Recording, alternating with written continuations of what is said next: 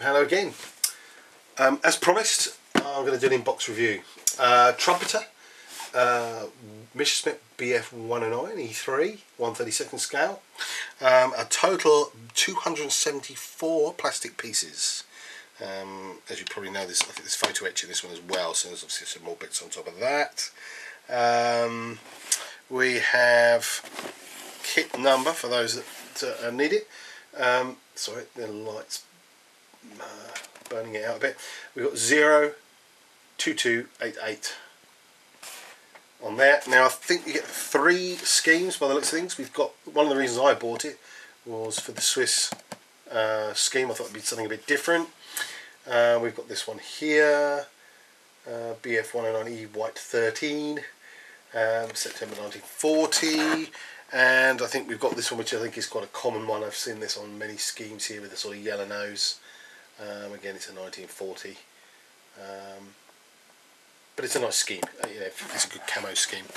Okay uh, one of the things with which is always nice you get a nice solid box. So you're not mucking around uh, with a flimsy box that you get some of these Revell kits. Here going, let's push this up a little bit. I think we're at the widest angle so you can get a full view. There we go that's better. Uh, so anyway, without me waffling on too much, let's crack open the box. Oh, sorry, there was something else I stored in there. we'll start with the instructions. So, what's nice, first off, is you get a really big uh, full colour sheet here, um, A3 maybe, um, certainly bigger than A4. Um, obviously the main scheme they give you here is this sort of traditional E3 scheme I suppose, or quite common one most manufacturers seem to do, um, and it's with, obviously with the yellow nose. Um, colour call out we've got here, which again is nicer with um, the trumpeter kits. We've got here Mr Hobby, uh, Vallejo, Model Masters, Tamiya and Humbrol. Although interestingly they're showing Humbrol doesn't have a lot of the matching colours, which I think is probably unlikely. Um, and obviously Mr Hobby seems to be the only one that matches everything. Um, anyway, unfortunately I think these Vallejo numbers are in the, uh, not the Model Air.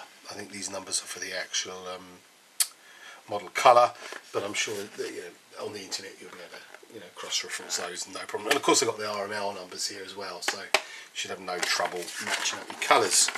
Uh, we've then got two more, um, another one here with yellow nose and slightly, you know, not quite such, uh, I personally don't think this is such a good scheme, got the sort of mottling which makes it more interesting. And then we've got this nice um, Swiss, very red, very white, um, possibly the one I'm going to do just for a different difference really.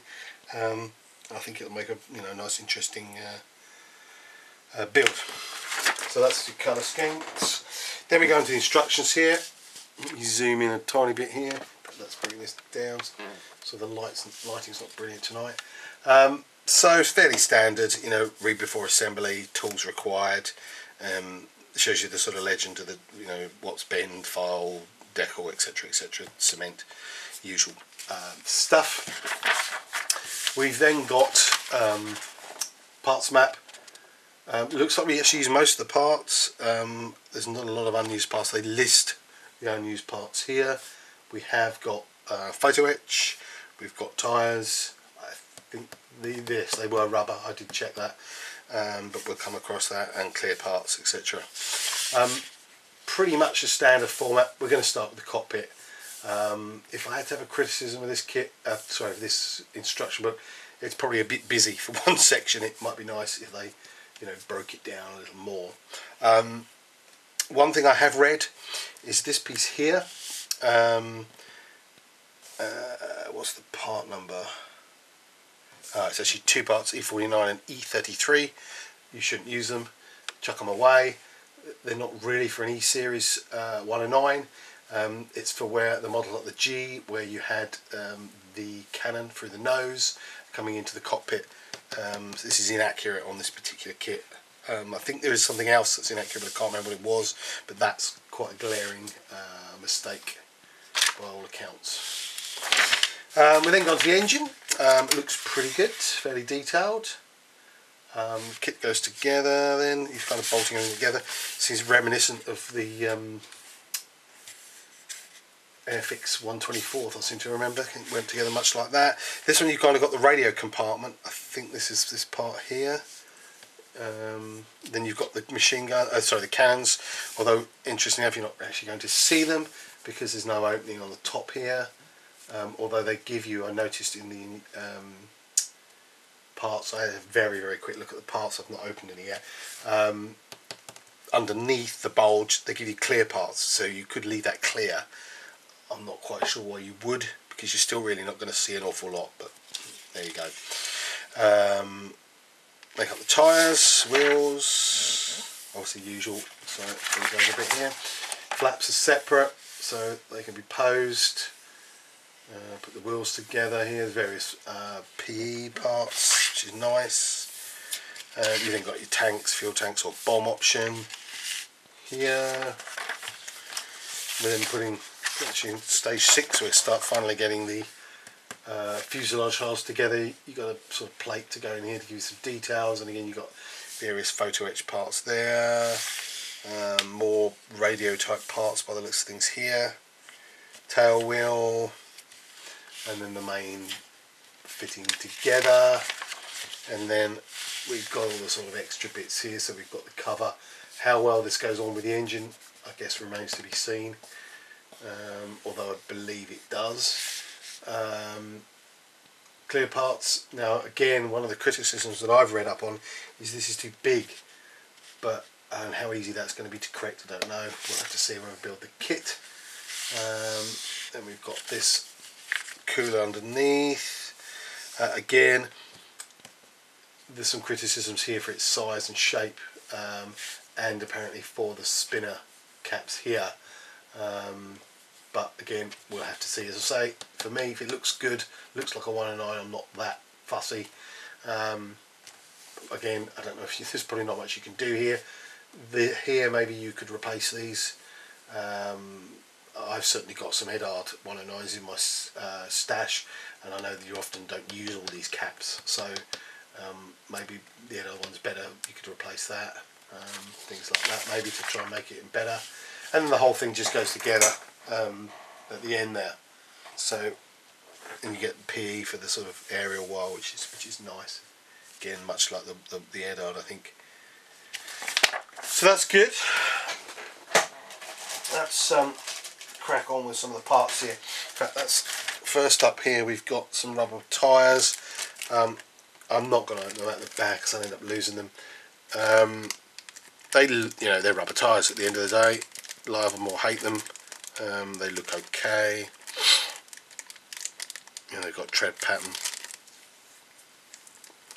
Not much to be said really, to be honest. Let's start on this piece. This is the wing part.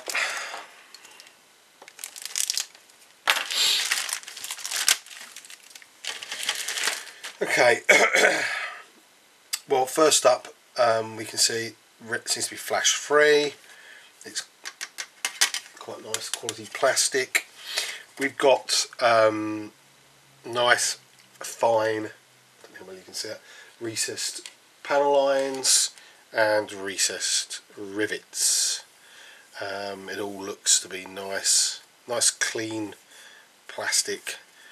Now doesn't seem to be any sink marks or anything particularly unpleasant there.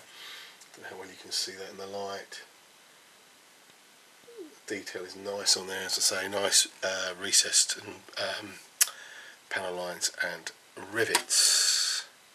That's good, good, good start.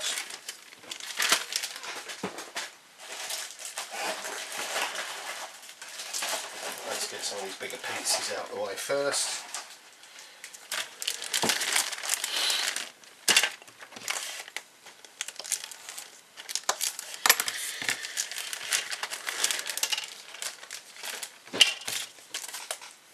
Okay.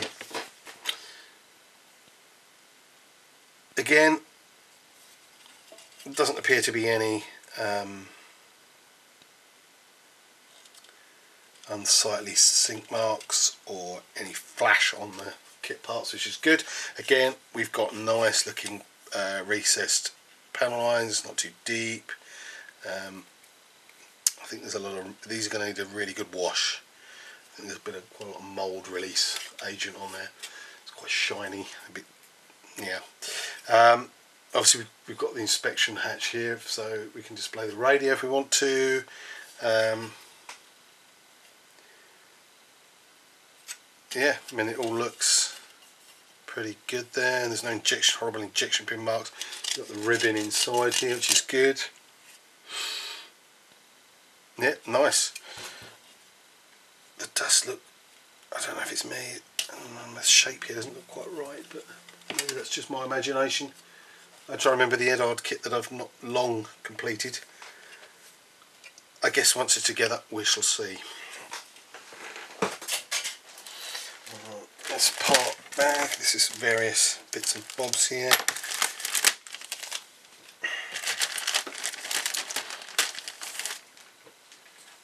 Okay, we've got the sidewalls here.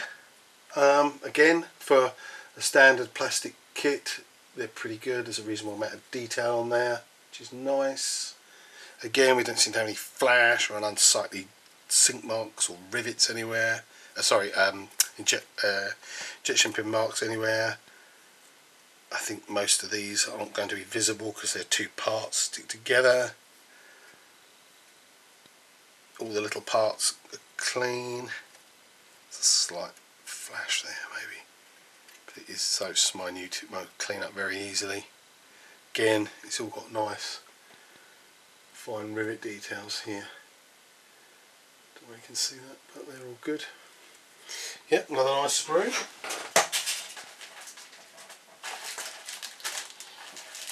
I'll get all these parts up here. Um, so we've got three spinner options here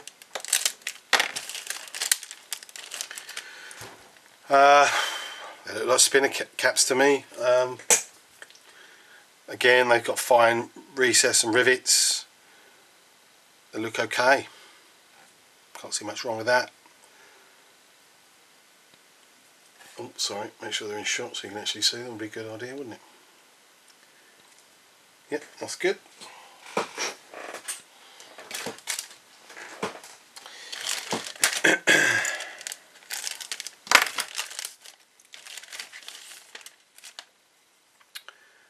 Okay, so again, this bit's kind of got your bombs, your fuel tanks, your propeller blades. Um, it all looks pretty good. Again, we don't appear to have any flash on there. There's a bit, some injection pin marks here that will need to be taken care of, although the wheel will hide most of them. They're not too deep though, shouldn't be too much of a drama other than that looks pretty good to me.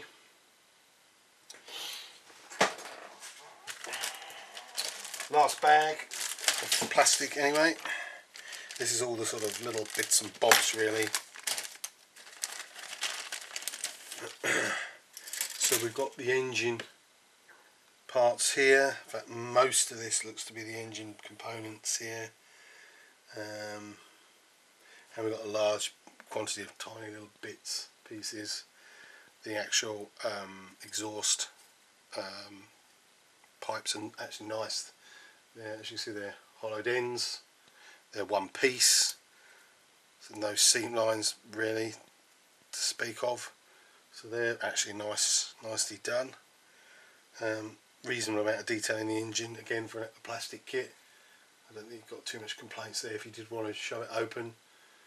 Um, you might not want to include it, you might just want to shut it, box it up and not bother, but um, the options are there, which is nice.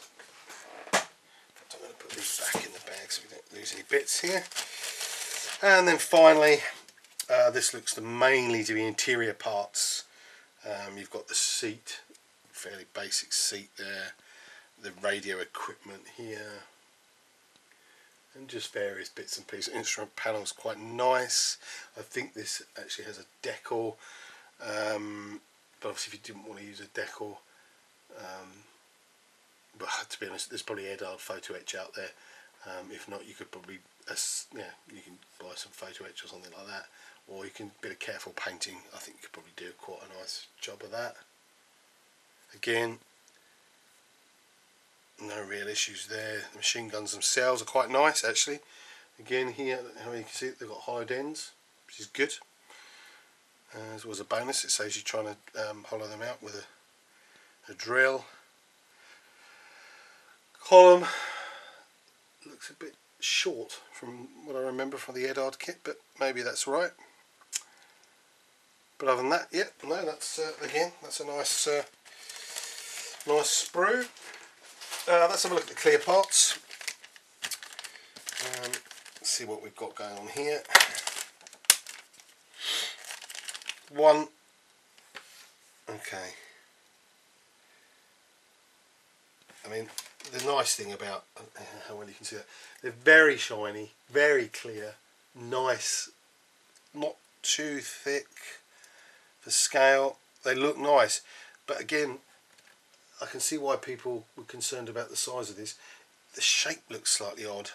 Um, it's a shame I haven't got some of the. I've got some spare Eduard bits from the kit I produced, and you'd see it. This the sort of tapers out wider at this end, and it's a little looks a little odd. Um, if I've got some spare Eduard ones, I may look to replace that if I can, because it just doesn't look quite right. But we'll see. I mean, again, if it fits the, the, the body of the kit okay, and it looks okay on the when the finished model, I'm not too bothered. But if obviously the fit is an issue, then we'll have to look at doing something with it. But nice parts, nice clear, you know, crisp, and you know, they don't distort too much, so they're quite good. Maybe the answer is to leave the cockpit open. okay, then the last little bits here that we've got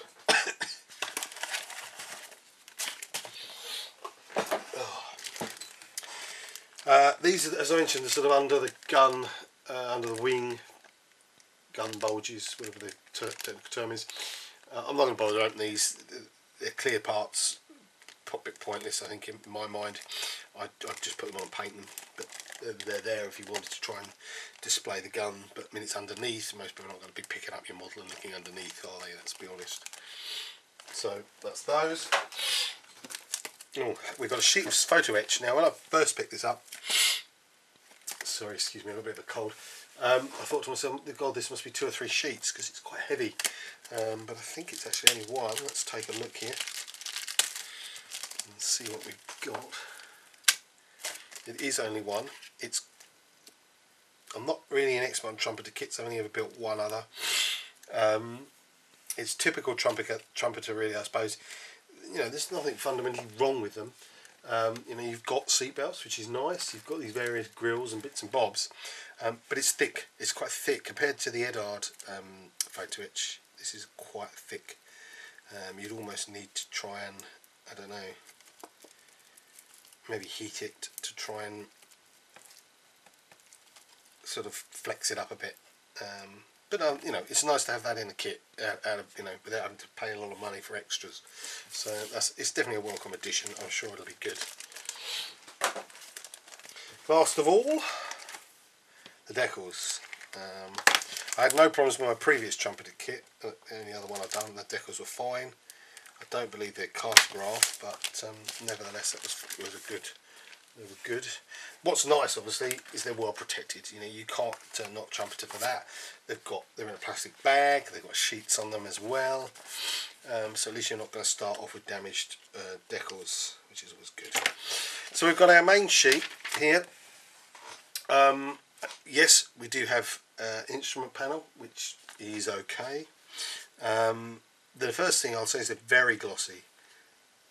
The other thing I'll say is it doesn't seem to be the finish there doesn't seem to be a lot of carrier film, which is good.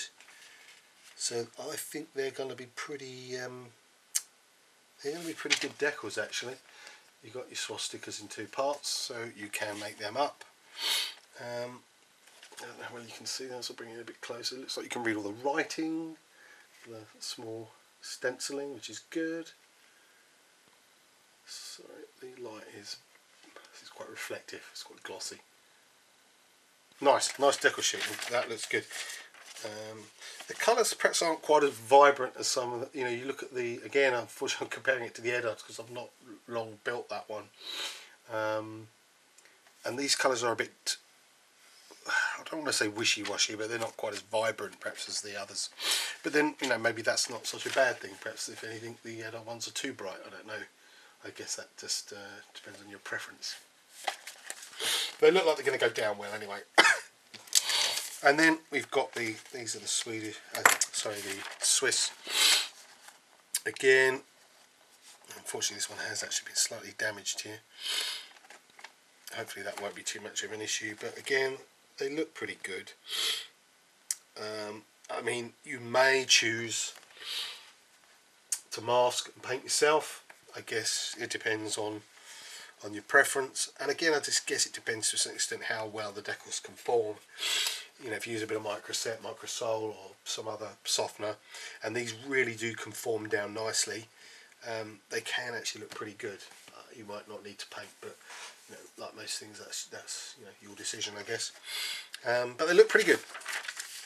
Okay well I think that's pretty much it. Um, quite looking forward to this build. Um, I will be building this one hopefully fairly soon. Um, so I'll give you an update on, on how I get on. Alright cheers. Thanks for watching